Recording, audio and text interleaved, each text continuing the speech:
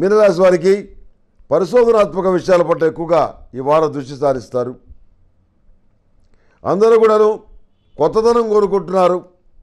కొత్తదనం గురించి అందరూ మాట్లాడేవాళ్ళే కానీ ఆ కొత్తదనం ఏంటనేది ఒక ప్రక్రియలో చేసి చూపించే వాళ్ళే కనపడరు. పాతదనాన్ని లేకపోతే పాత పాత విషయాల్ని పాత కథల్ని పాత మాటల్ని విమర్శించేవాళ్ళు.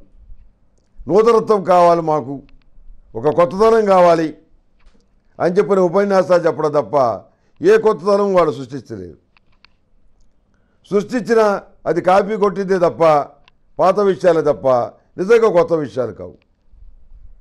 అందరికీ ఆశ్చర్యకరమైనటువంటి కొత్త విధానాలు కొత్త మాటలు మీరు చెప్పగలుగుతారు చూపించగలుగుతారు. మీ యొక్క గ్రహణశక్తికి మీలో ఉన్నటువంటి సృజనాత్మక శక్తికి చాలామంది అభినందిస్తారు. వీటిని ఏ విధంగా ఉపయోగించుకోవాలో ఆ విధంగా ఉపయోగిద్దాం. అందరం కలిసి బాగుపడదాం అని మీరు ఒక ప్రపోజల్ పెడితే పది మంది వస్తారని మీరు భావిస్తే వంద మందికి పైగా వస్తారు. మీరు అనుకున్నటువంటి నూతనమైనటువంటి ప్రోడక్ట్ గ్రాండ్ సక్సెస్ అవుతుంది. పాలసీ గ్రాండ్ సక్సెస్ అవుతుంది. అందులో ఏమీ సందేహం లేదు. ఇన్నాళ్ళు మీ మేధస్సుకి కానివ్వండి మీ కృషికి కానివ్వండి తగిన గుర్తింపు లేకపోవటం ముఖ్యంగా కులం లేకపోవటం ఇవన్నీ కూడా కొన్ని మైనస్ పాయింట్లు అయినా ప్రస్తుతం గ్రహగతులు బాగుండటం వల్ల మీ శక్తి సామర్థ్యాలు సృజనాత్మక శక్తి అందరికీ కూడాను నచ్చుతాయి. అందరూ కూడాను సపోర్టుగా నిలబడతారు.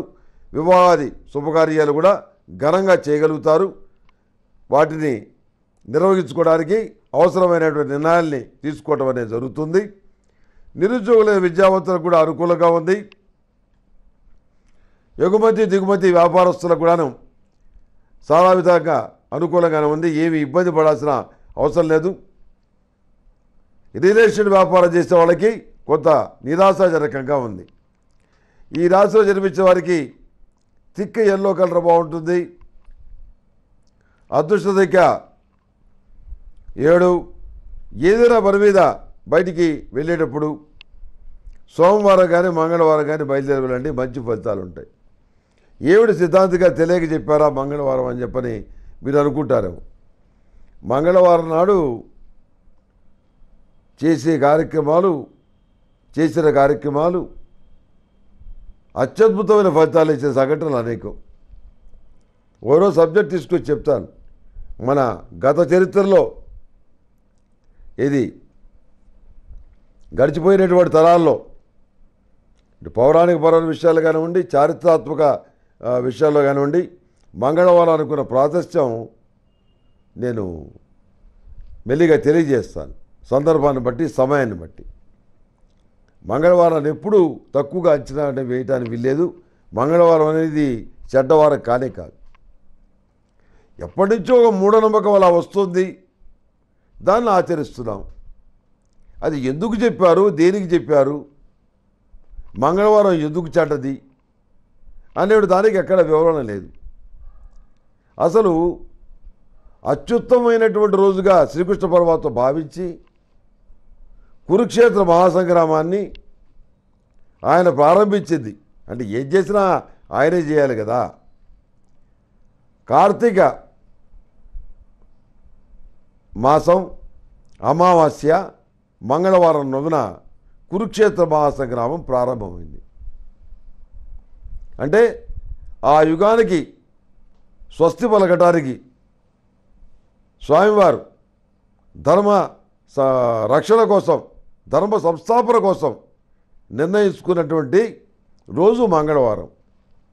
మరి కృష్ణ పరమాత్మ తెలివి తక్కువ వాడని చెప్పిన ధైర్యం ఎవరికీ లేదు కదా? కనుక దానికంటూ ప్రత్యేకత ఉంది. దాని వివరాలు మరో సందర్భంలో సంపూర్ణంగా తెలియజేస్తాను.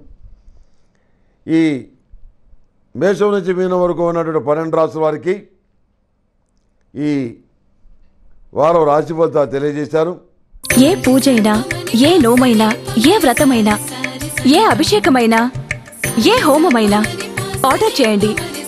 అందుకు అవసరమైన పూజా సామాగ్రిని డోర్ డెలివరీగా పొందండి. ఈరోజే మీ పూజా సామాగ్రి కొరకు ఈ పూజా స్టోర్ డాట్ ఇన్లో లాగిన్ అవ్వండి.